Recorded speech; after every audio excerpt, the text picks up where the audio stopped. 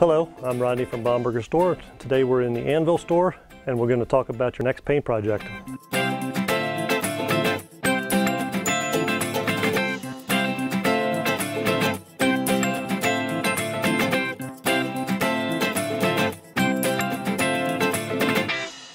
Your first question is going to be how much paint do I need for my project? Let's say your average size room, bedroom is 12 by 12. That's going to take two gallons on the walls, one for each coat, one gallon for your ceiling, and then a quart or a gallon on your trim, depending on whether or not you're going to paint your doors or not. The average gallon does about 400 square feet, so that's a good starting point. Everybody's favorite thing to do is to do the paint prep. That means sanding, patching holes, and that type of thing.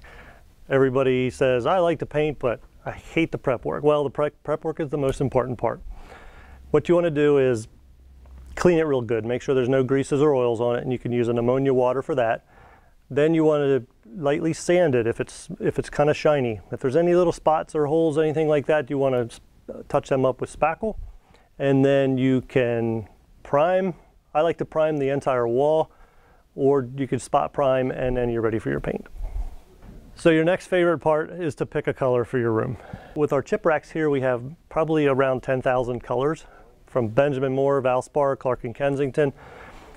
It can be a little overwhelming. Sometimes you even have a color that we don't have here that you really like. We can bring that in, we can match that with our spectrophotometer, and we can also then do a, a sample, a pint sample of any of those colors that you see on the rack here or your custom color.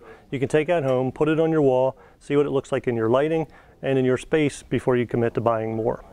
All right, you finally have your paint picked, it's home, your walls are ready to go. Now what? You want to start painting with your ceiling, but first of all, get some drop cloths and cover up everything that you don't want to get splattered.